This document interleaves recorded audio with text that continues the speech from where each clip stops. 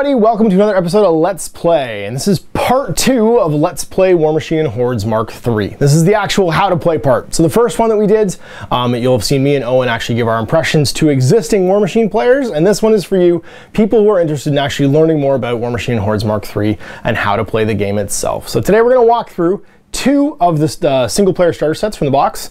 Um, we've got the Trollblood one led by Ragnar. Uh, he's got three lights in his box. And we've got the Khador one led by Kozlov. Um, what these are is self-contained, get started playing War Machine Hordes boxes. Yep. Um, and they're a big upgrade because the old ones didn't come with nearly as much stuff. Um, I owned a couple of the old ones. I owned the Mark 1 um, Menoth one, I think. I bought that one. You just had the models. And it was basically in the cards, cards and models, yeah. And you sorry, and you get the poster. You get the, the quick start rule poster usually. Because remember, it was oh, like a big, it was a huge folding out poster that gave you the basic core mechanics of the game. Um, these new ones are cheaper for one thing. I think they were like 60 bucks before for the starter. These ones are about half the price. Um, they come with almost the exact same amount of stuff model wise, and they also give you a heap of additional content. So we're gonna go through the contents of the box, show you all the stuff.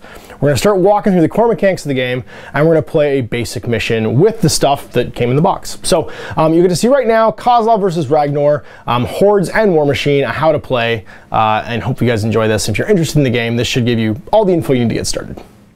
So first things first, let's look at what comes in one of these one-player starter sets. So right here I've got the Khador one in front of me, um, and it gets some miniatures. So you get Viscount Kozlov, a Decimator Heavy Warjack on the right, and a Juggernaut Heavy Warjack on the left. Um, you get all the cards to go with them. So there's two kinds of cards um, that you get in the box set.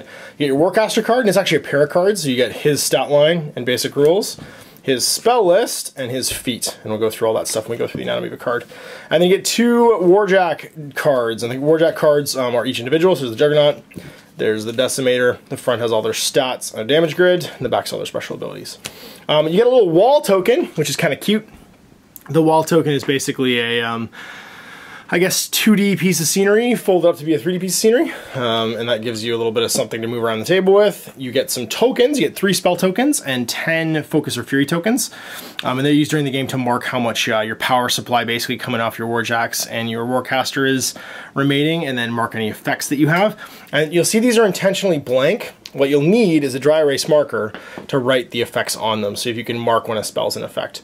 Um, and you can just put it next to the model to, to see if it's happening or not. And then finally, and this is probably the coolest thing that comes in the box, you get the Prime Rules Digest. Now, there is nothing different about this book and this book, contents-wise. The only difference is the bit of background that's in them, um, and which comes first. In this one, the rules for Warcasters, which are the spellcasters in Warmachine, um, are front and center in the main body of the book, and the Warlock, which is Ragnar over here, the rules for them are in the appendix. And then it's just reversed for this.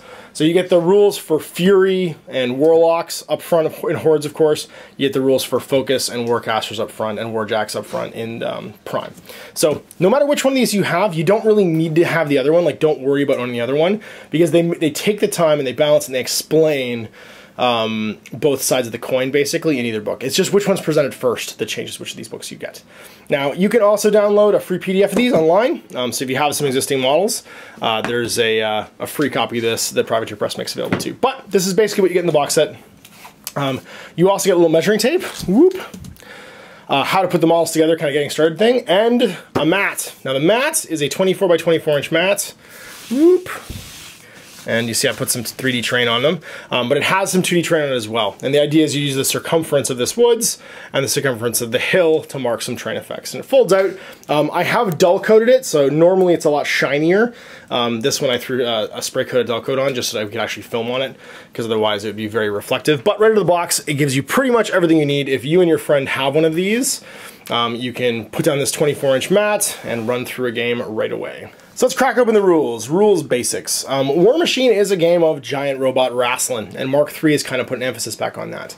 Um, if you watch the uh, Let's Play that Owen and I did, you can see some of the key changes in the mechanics. Um, I'm not going to really spend a lot of time talking about them here, but suffice it to say, you can take, in this edition of the game, Warjacks and have it not necessarily be a detriment. There's a, there's a multiplier called Power Up, um, that makes taking multiple robots a, a good thing as opposed to a drain on your resources. Where in previous editions, there was a number of warjacks that you hit where it just became totally inefficient to have more warjacks because they were draining your resources too much.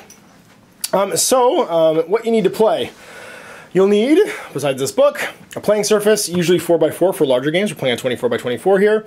Tape measure or ruler marked in inches, a few six-sided dice, six will probably be plenty, some tokens, and of course there are official tokens, which we have. Uh, stat cards, which we have, and then finally uh, markers and templates. Now the box does not come with these, um, but there is, and this is my old set, uh, set of templates here. So this is a spray template. This covers any spray attacks. This is a blast template, and it's ringed in 3 inch, 4 inch, and 5 inch, plus with a directional scatter on top here.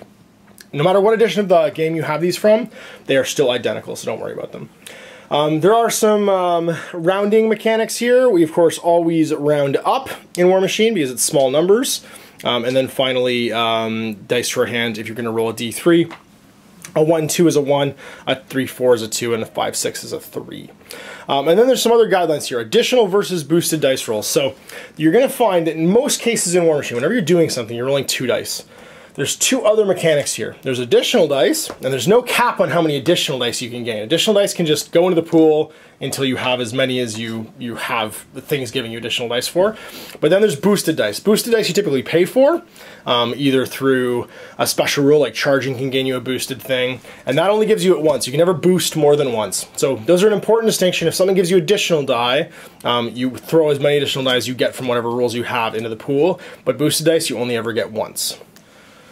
Uh, the only other convention you guys really need to know about is that you can measure stuff at any time. Now we're going to kind of go through and explain the rest of the rules by actually playing it. The only thing I'm going to do before we do that is the anatomy of a card. Now the cards are important, um, and there's actually three kinds of cards, but the actually four kinds of cards. But the cards we're going to worry about here are Warcaster cards and the Warjack and War Beast cards that come in the box. So, first we have Lord Kozlov, Viscount of Scarsgrad, um, and this is a stat line up here. We got speed, that's how many inches he can walk. Um, he can run twice that far, and if he charges, he goes that speed plus three, which is all different orders. Um, there's his strength, that's literally how strong he is. Seven. His mat, his melee attack, his skill is seven there. His rat, his range attack, his skill is five. His defense, now defense is your uh, number that you need to hit. So if he was trying to attack himself, with a melee attack, he would have to roll an 8 or higher on two dice. Sorry, actually, he'd have to roll, yeah, an 8 or higher on two dice to hit that 15. So he'd roll two dice, add his mat, so 11 plus 7 is 18. It beats his defense. It would then hit him. And he's got an armor of 17. That's what you reduce damage rolls by, and the differential, so how much is left over after a damage roll plus the power of an attack, is how much damage he takes. Um, now he has a great axe. Um, this is one of his weapons. There's also range weapons, and we'll see those later on when you see the uh, the decimator. Um, every weapon has a range, so in this edition, even melee attacks have a range. His range is 2 inches, so you can attack anything that's within 2 inches of him. Um, he has a power of 5, and that's what you add to his strength to give his total power plus strength of 12, so much damage he does. Now, if that hit had gone through, he would roll 2d6 and add 12. That's how much damage you do to try and beat his armor of 17. Now, this little symbol down here, and there's tons of symbols in these games, um, are additional rules. So first of all, up here, he's got tough, that little um, sort of like hard as nails symbol, the three cross nails. Um, that means anytime this model is disabled, it's rolled a dice. On a 5 plus, it's not destroyed, it's put on its back, knocked down with one damage box, um, and that's it. But it loses it once it's knocked down, so only gets that roll once. Um, unless it has something that keeps him from getting knocked down. This little symbol right here, the stars, means it's a magic attack. So things that are ethereal or sorry, incorporeal, um, it can only be harmed by magic. It can actually harm. And then finally, that little sword symbol, that's Weapon Master. That means he gains an additional die to damage rolls. Now, if he was charging, his damage roll would also be boosted. So he could, for instance, on a charge against himself where he just hit, roll 4d6 and add 12, and that would be his damage roll, giving him a total of 11, 12 plus 12 is 24, where we compare it to his armor, he would take 7 points of damage. Now moves us down here to his damage grid. These are his damage boxes. He has 17 damage boxes. When they're all filled in, you fill in the final one, which is the heart there. He is dead. Now, because he's a Warcaster, he also has a focus. Uh, Warlocks have a Fury stat instead. It's, it's kind of the same thing. It works similarly in a lot of ways.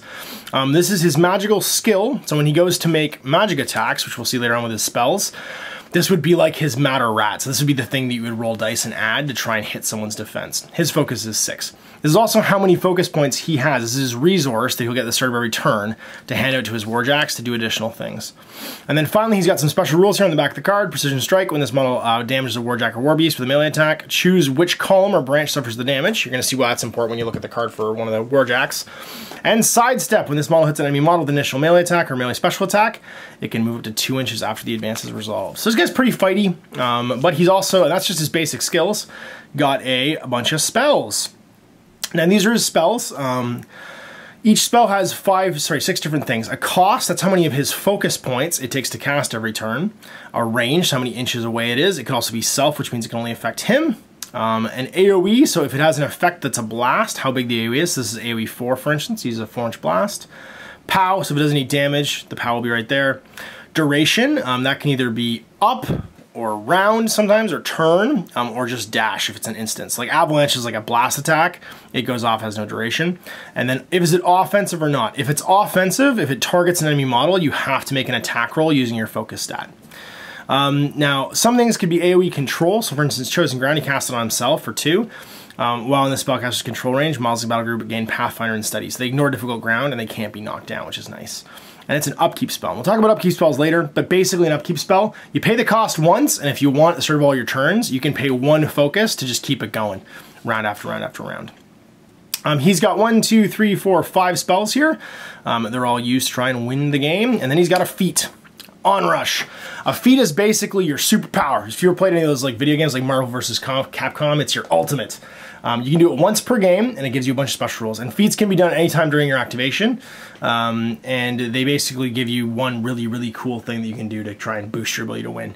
So in his case, he has a feat called Onrush. Friendly faction models currently cause loss control area, gain plus two speed and unyielding for one round. So while engaging enemy model, a model unyielding gets plus two armor. So you can make his jack super fast, well, actually everything in his control super fast, um, and make them harder to hurt the run. So he has a really great ability to early on rush into a zone and just fight guys and stand there for a turn. So now let's look at a Warjack card. Now Warjack cards are almost identical to the Warcaster card. You can see here he's got the same stat line, speed, strength, mat, rat, def, and armor. Um, he's got no command though because he's a robot, so he doesn't have a robot's command range. Um, and he's got this little hammer icon here. That means he's repairable. So if something has the repair skill, they can put boxes back on him. They can stick his arms and legs back on because he's a robot. He has a melee attack, just like Kozlov does. Got a range of one inch, power five, and power plus strength 17, his giant chainsaw arm. And he's got a gun. Um, now guns are a lot like melee weapons, except they have additional um, two sort of things here. You get range, uh, how many inches it can fire, your rate of fire, it's how many times for free with your combat action you can try and shoot it. And then an AoE, uh, so if it does a blast, and then it's POW on top of that. And then finally, its grid is slightly different. When you hit a Warjack, it has what's called systems. Um, you'll roll a die, so if you do a damage roll against a Warjack, you'll roll a die, it's a different color on top of your damage roll, to see where the attack actually lands. So in this case, it lands on column 6, and let's say I did like six or seven points of damage, it would start in column six, and then when I filled in five points, if there's any left over, it would bleed over into the next column. Um, those little uh, letters in the damage grid are its systems. So there's L, which is left arm, R, which is right arm, M, which is movement, and C, which is cortex. There can be other special systems, but these are the basic ones. If your L boxes are all filled in, your left arm is broken, which means um, it only rolls one less dice to make attack and damage rolls. Um, same with the R. Your movement, you can no longer run, charge, or make uh, trample, slam power attacks, and you're really easy to hit. Your defense drops down. And then if your cortex breaks, that's your brain, it means that you can no longer be given focus to do stuff, um, and you can no longer um, gain power-ups from your Warcaster, so you no longer get any special free focus, which is really important. So you can see they're all low there in the grid, and they're all spread out. Um, but it does mean that your warjacks start to lose efficiency as they get damaged as their systems go down and break. And then just like Kozlov on the back, special rules. So he's got his gun as beat back um, after he hits a guy. If it doesn't die, it can be pushed one inch away and then he can move an inch towards it. And Ripsaw, his big chainsaw, if he hits you once with it, all further attacks that turn automatically hit, he just saws you in half, which is pretty great too. Um, so those are the two difference. Now there are other kinds of cards in the game, so you will see if you decide to get into this, other kinds of cards. There's unit cards and solo cards.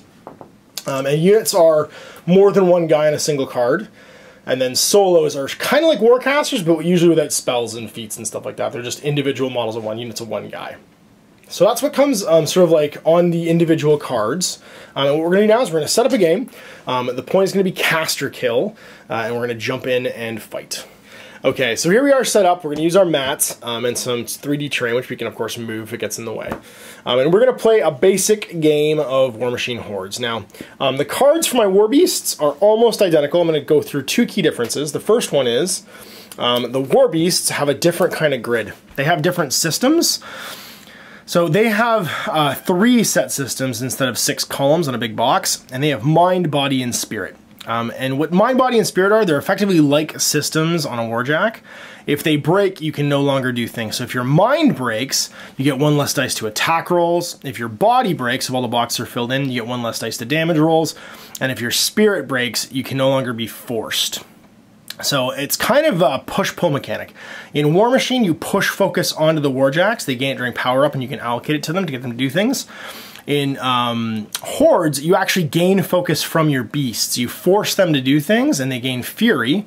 Um, and they can do it up to their Fury stat of 3 and uh, when you um, have your turn, you suck the Fury off them to power up your Warcaster. So he starts with full Fury at the start of the game, but during the game I'll have to manage how these guys are getting pushed to try and keep them from um, A, frenzying, because they all have a threshold here, uh, and B, to keep myself full of Fury. So the last stat here is uh, threshold. That's if I leave any Fury on them at the start of the turn, if I can't get it all sucked off, um, then they have to make a test. They roll two dice and add the Fury on them. If they break that number, then they Frenzy. And Frenzying can be good. You can actually use Frenzying to your advantage because it means you're boosted attack and damage rolls, but you only ever attack what's in range. Uh, basically, the War Beasts freak out if you push them too hard and slam into things. Um, that's really the key difference. Um, there are some other small differences, um, like the way you gain your focus. So for instance, I can gain focus for the Spirit Bond. If my guys die, I can still gain Fury from them. Um, and Owen's power ability, which I explained earlier, um, is basically that if a guy starts in his control range, which is twice his focus stat, they gain a free focus at the start of the turn. So he powers his guys up. Um, I use my guys as batteries, basically, to power myself up. Uh, so the game is going to be to the death. We're trying to kill each other's warcasters. It's a pretty common tactic in Warmachine, um, and it's a great sort of setup and go game. So we're going to dice off. We have four inch deployment zones in this mat, and see who goes first. All right, so I'm going to choose to go first, which means I have to put my models down first, four inches on, and we'll get set up. All right, and we're set up. So I've got my Axer, my Bouncer, and Ragnar there, with the Impaler on the right-hand side. Um, and then across from me, we've got the Juggernaut, Kozlov, and the Impaler hiding behind the woods because their spell list is going to allow them to run through it momentarily. So I have first turn. And what happens during the first turn is, um, first I would leech focus. So there's the maintenance phase and the control phase. In this case, maintenance, you resolve any effects that are on you. Um, we don't have any effects on us, but there can be continuous effects like you could be melting from corrosion, you could be on fire, any of that stuff would be resolved vengeance. now. Yeah, vengeance, if somebody gets damaged, my Fennblades can get damaged and go through vengeance um, where you move and make an attack. But first turn, that happens. Um, I start the game with my full focus stat, which for Ragnar is 6. And I get to throw that on me. And that's the start. So now during my turn, I would have to leech focus during my control phase, um, and then make any frenzy checks, but because it's the first turn I don't do that. Um, Owen will be doing something different at the beginning of his turn because he is playing Warmachine. So uh, now I can force guys in my control range. As I said earlier, my control range is going to be 12 inches, so twice my focus stat, and I can measure anything at any time. So all these War Beasts are inside my control range, um, which means they can be forced to do things. So I'm going to start with my Axer. I'm going to force him to run. So running, as I said earlier, is twice his speed stat, and he is speed of 5. So he's going to get to run 10 inches. So we're going to run him 8 and 2, and just put him over here, whoop, and be done on him. And I can also, if I want, do something called rile, which is just put for future like free points on him if I need them for later on. But I don't think I need to rile him right now. I should be okay. And, and you also do that before you run. Uh, you roll first. That's right. Oh, that's in that order. Yeah. yeah. Everyone always everybody does wants it the other way, and yeah, most yeah. people will let you get away with it. But if, if you technically want to do it correctly, that's right. You rile before you run, um, because riling is a uh, running ends your activation is actually the, the, problem. As soon as you run, your activation's over. Uh, then I'm going to activate my Impaler. Um, he has a ability called Far Strike. Now this is an Animus. What's cool about War Beasts that are different from Warjacks is they have a thing called an Animus. It's an innate sort of like skill. Now your Warlock gains that as an ability. So the spell list that Kozlov has is all the spells he's ever going to have. I get one for every War Beast, and I have one called Far Strike. So he's going to Force, which is going to cost him one Fury, which will put him on himself to become Far Striked. And Far Strike is going to give him Snipe, which is plus 4 range to his spear. So his throwing spear will now throw 12 inches. That's going to give me a 17 inch range, which checking, because I can pre-measure, we already know is in. So I'm going to walk 5, something close to five anyway. Yeah, and head over here. All right, and now, because I've done my walk action, um, and it's important to note that you get two parts of your turn. You get a movement action um, and a combat action. If you run, you forgo your combat action, um, but because I only moved with this fella, I get to do my combat action now. So I'm a thing where you can move, plus a thing where you can do a attack or an ability. So for my Impaler, I'm going to make a range attack with my thrown spear. Uh, it's a 12 inch range, which we already pre-measured is in range. Rate of fire 1, so I can throw it once per turn, and it's power 13. So I'm to boost my roll to hit, because I'm only rat 5. Now I only need a 5 to hit you, but what I'm trying to get here is its effect, and its effect is critical smite, which will push you backwards and potentially knock you down. So because I'm boosted, I can only boost it once. Um, I need to roll a 5. Your defense on your big guy is 10. My rat is 5, so 5 or better on these three dice. Um, and I'm looking for a critical. A critical is any doubles in a successful roll. So it has to add up to a successful number and then have doubles in the total. So let's see what I get. I get a double two, and a 6 is 10, which is successful, so I'm going to smite you, and you're going to take a damage roll. Now I'm going to boost the damage roll before I smite you, um, and the damage roll is 13 against your armor of 20. So probably not going to do a lot of damage here. I'll be at minus 7 to my total. Um, and that means I'm going to roll the little dice here for the location and get a total of 11, so 4 damage into the 1 column. Smited d6 inches, so you're going to go directly away d6 inches and be knocked down. Now in this game, you stop and hit the board edge, you don't go off. So 4, you're just going to go to the board edge and be knocked down. Now knockdown is an interesting effect. It means you can no longer block line of sight, um, you don't have an engagement, so when you walk up to people, you don't have a melee range basically, and you're automatically hitting melee, and your defense 5 against shooting. Worth noting because he was on a bigger base, he, he only needed to move 2, but he only actually moves 2 because he goes half the distance during a critical smite. So at this point, I need to look at the table and say, hmm, I've got 4 Fury out here, and I know I can hold 6. How much do I want to have on me at the end of the turn? I'm feeling pretty good about the amount I have on right now, so my next activation is going to be Mr. Bouncer.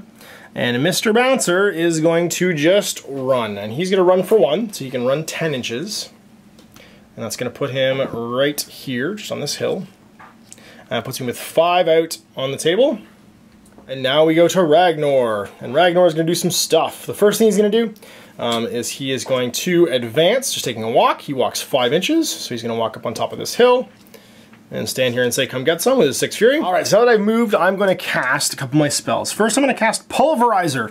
I'm gonna cast Pulverizer onto my Bouncer. Uh, no, I'm gonna cast Pulverizer actually onto my Axer. Pulverizer gives him plus two strength and beat back. During beat back, um, if he damages a model, he gets to make a one inch push of it away from him and a one inch advance directly towards it afterwards. So we're gonna write that onto a token and put it next to him. Uh, and with that done, uh, that cost me three, so I should have three left. I'm going to cast Dig In. Um, Dig In gives everybody cover. They basically become uh, in a foxhole for the turn. It's called Earth's a Sanctuary is the spell. Costs one, range six inches. Fa uh, target friendly faction model becomes dug in. While dug in, a model gains cover, doesn't suffer blast damage, does not block line of sight. The model remains dug in until it moves, is placed or engaged. I'm going to dig in the Bouncer, the Axer, and that's going to be it. And so with Ragnar having gone and cast all his spells, he's got one Fury left on himself. There's five Fury floating out there, and these two fells are dug in. He's also got Pulverizer up on him. That's going to end my first turn. It's going to go to first turn Khador. Start of the maintenance phase, the first thing that Owen's going to do is power up, and that means every Warjack in his uh, his control area is going to gain a focus just for being around because basically his presence makes them better. He also replenishes his focus, which goes to six. And now during his maintenance phase, he can assign it out to people. Now there's another thing he can do. He can do a thing called shake effects, um, where he can spend a focus after assigning them to one of his warjacks to get rid of any continuous effects on them, um, such as knocked down. So he's gonna give two, and then remove one on the Decimator to have him stand up again. And he's not gonna give any to the Juggernaut because it's just gonna run this turn. And that's gonna start his turn in earnest.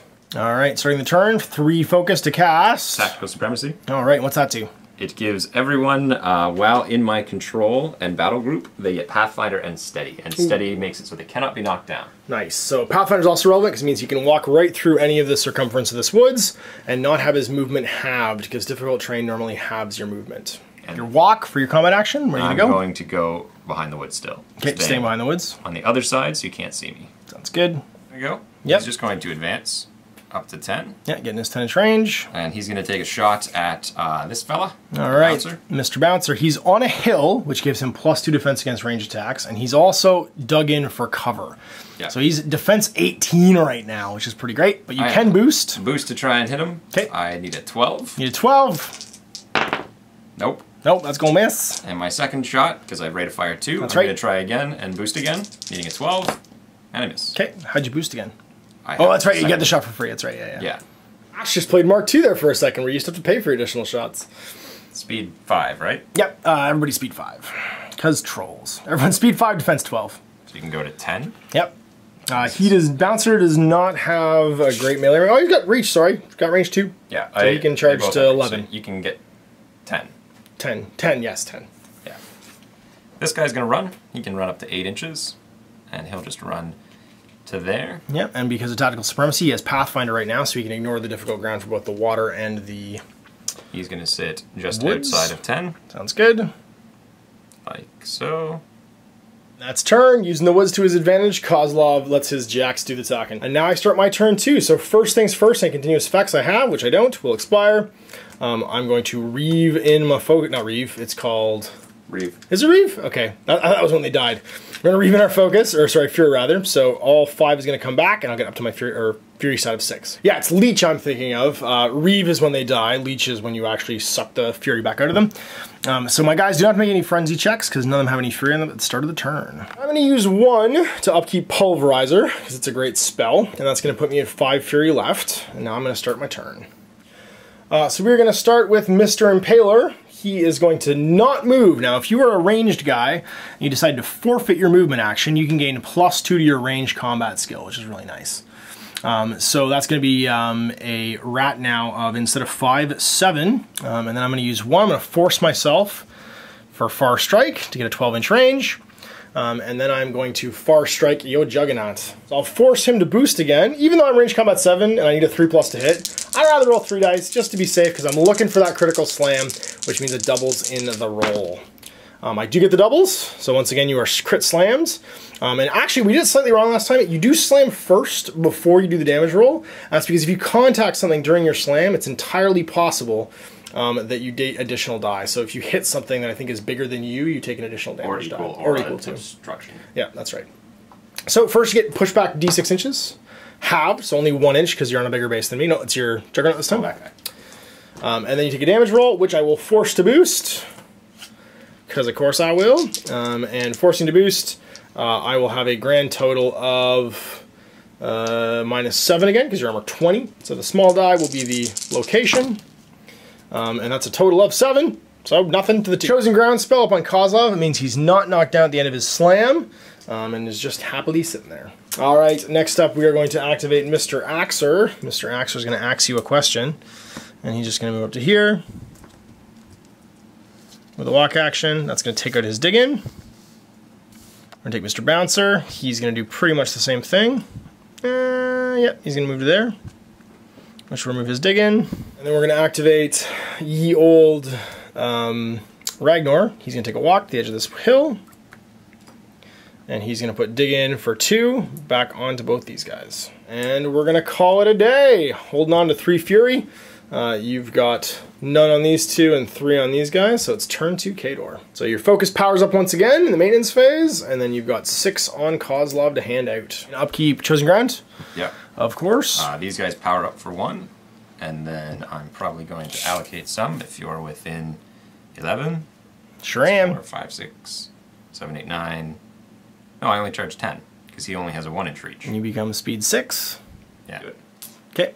So Mr. Decimator's going to get two, and you're going to keep one of the Juggernaut. Yep.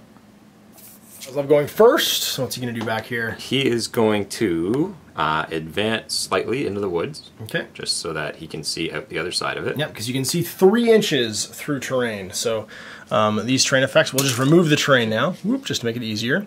And that way you can measure where three inches is, because you pre-measure everything. So you need to be a little bit further up. Uh, you know what? I'm not going to go that further. Okay, so you don't want to be able to see. Nope. Okay, sounds Uh, good. But he just wants to see his big guy here, his Decimator. Yep. He's going to cast Fury for two course, on the Decimator. Make him big and strong. So what Fury does, it gives you plus... Three to your melee damage rolls, That's right. but I suffer minus one defense. Which you don't really care about because you're already defense garbage because you're Khador Heavy warjack. Eating. So what his feat does, it gives everybody plus two speed and unyielding. So it's going to mean um, his fellas can charge a big giant 10 inches this turn. So three plus... It's six plus three plus your one inch reach. Yeah, yeah. it goes 10 you're within eight. So I'm certainly going to make the charge. For sure. So we're going to activate this fella now. He's going to spend one to, to charge. I'm going to make my advance, and then end facing directly towards my charge target. And our little guys are bumping into each other. So a charge is a movement plus combat action together. Yeah. And that's going to mean he gets There we go. right to there. And now he gets a free attack from that because his combat action um, takes place immediately afterwards with all of his melee weapons. And the first attack roll he makes has boosted damage because he's moving so fast. MAT seven, so I need a five to hit. Sure do. You need a five to hit. Not going to boost it. Nope. I hit, Gets it. And it's a crit, which makes it. You just sustain sustain. attack. No, you're sustained all the time. Oh, really? Yep, all the time. You just That's auto hit for the rest. I know you're auto hit for the rest of them. So he hits me. Um, POW 20. It is POW 20 because of Fury, so plus 3. Uh, and that means you need a little die for your location. Oh, that's how you do it. Okay. That's right, and this is boosted. Boosted for the charge. Dice plus three. I did 13 to three. So 13. So your dice plus 3 right now because my armor on my Axer Actually, it's 18, is isn't 17 only. Oh, yeah. Dice plus So I'm only 17, um, and that's going to mean that. So you're at 13 damage right now on me to the 3. So I have to fill in boxes. It starts in the body. There's 7, goes to the spirit, plus 7 is 14. I have 1 left in the spirit. Sorry. Yep, 1 left in the spirit. Buy an attack which will auto hit. And so dice plus three for damage. And he'll do another eight to four. 8 to 4, so that's going to fill in my spirits. That was exactly what you needed to kill me. Um, and so the Axer is removed. So buying a final attack with his chainsaw the into. Mr. Bouncer, Needing a five. and it hits, and it's POW 20 again. Now the Bouncer's armor, because he's got a shield, is 19, so dice plus 1. Does And that's going to be one. 10 to 1. So for the Bouncer now, his mind is broken, which means he's only going to roll one dice for attack rolls. So now you're going to run with him. He's going to engage all three. Looks good.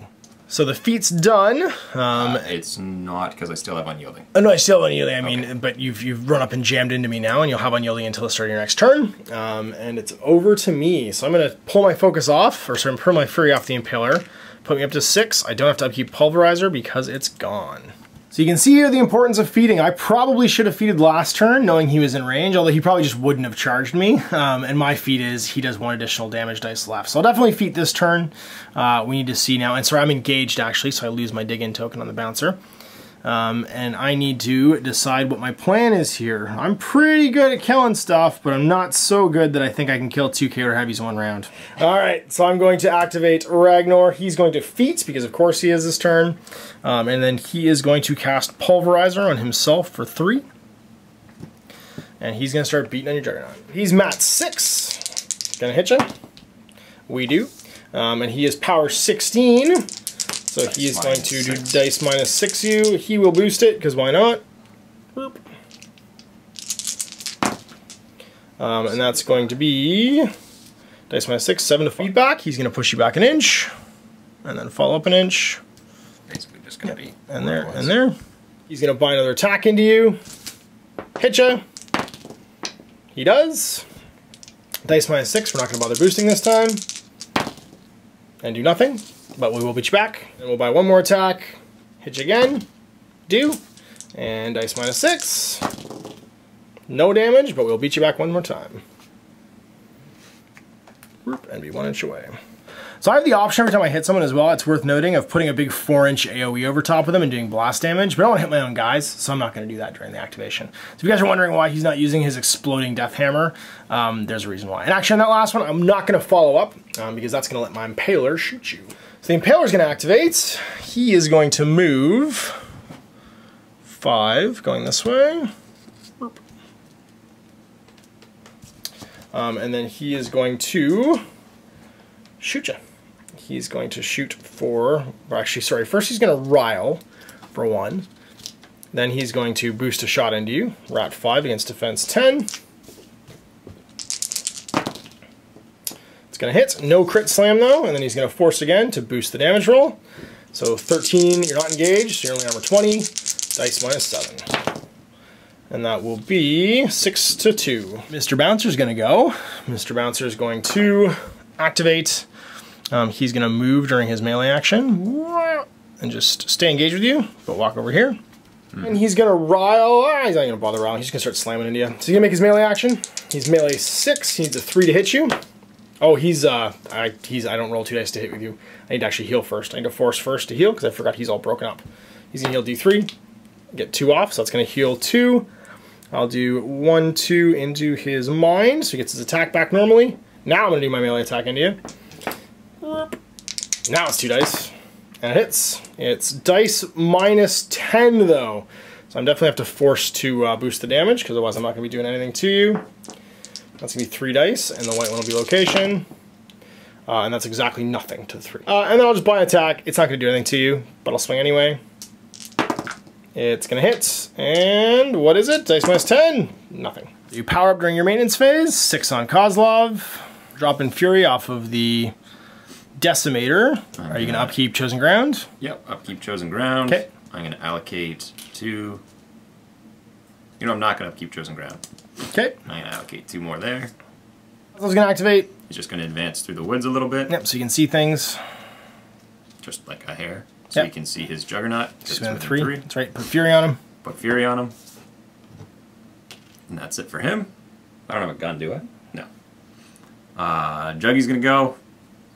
I could probably get a charge, but I need to boost the hits. No, I don't need. What's your defense? Like 13? Uh, Troll? 14. 14? So I need a 7?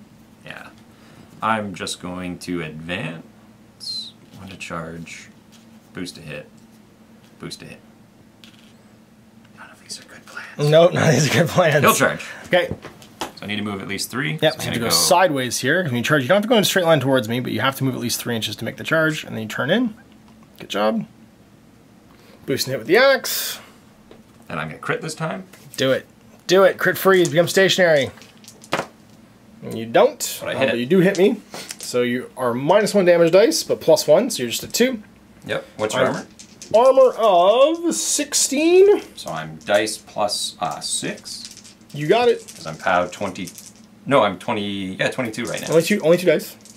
Oh, you're boosting it. That's right. Oh, you don't. It's already boosted for the charge. Yeah. You don't have a location. No. Dice plus six. I do fourteen. You sure do. Attack with the fist. Oh, it's boosted. I hit anyway. Oh, nice, super hit. Super hit. Uh, POW eighteen. So dice plus two. I kill you. Uh, tough. See, I'm tough roll. Five plus. Nope, I'm dead. And that is game. And so that is game. Kozlov using his two big heavy warjacks to power through um, the battle group and get to Ragnor. Ragnor not making his tough roll, so no counterattack. And we've managed to finish them off in the demo game for Warmachine and Horde. So I hope that helped you guys. Um, see the difference between two types of casters, obviously. Kozlov not really able to go front and center because A, um, he's spending all of his focus every turn to power up his jacks, um, whereas B, uh, he's able to stay sort of like midfield with everybody to try and keep them nearby, so that as they advance, he is getting and leeching the the fury back off them. So, um, yeah, there's the mechanical sort of like introduction to the game. Now, uh, this is pretty much just using what you get in the starter sets, and the point of that was you guys could replicate this anytime by grabbing two starter sets yourselves, cracking them open, and trying it out. All right, so there you go, how to play Warmachine and Hordes um, using the single player starter sets. I hope you guys enjoyed that. Um, you will see me for more Warmachine in the future. We're gonna be doing some sort of more fun, different Warmachine stuff, narrative stuff, playing in castles and dungeon stuff. Yep. Uh, Using terrain. yeah, using terrain, using lots of terrain. Um, and uh, we'll be building up, uh, you're playing your Skorne, and I'll be playing with my uh, Trollbloods through the two player starter set for Hordes, because you split that, and you'll get to see us sort of like adding stuff and escalating as we go forward. So thanks for watching. We'll see you for more Let's Plays in the future. Till then, I'm Ash Zellen.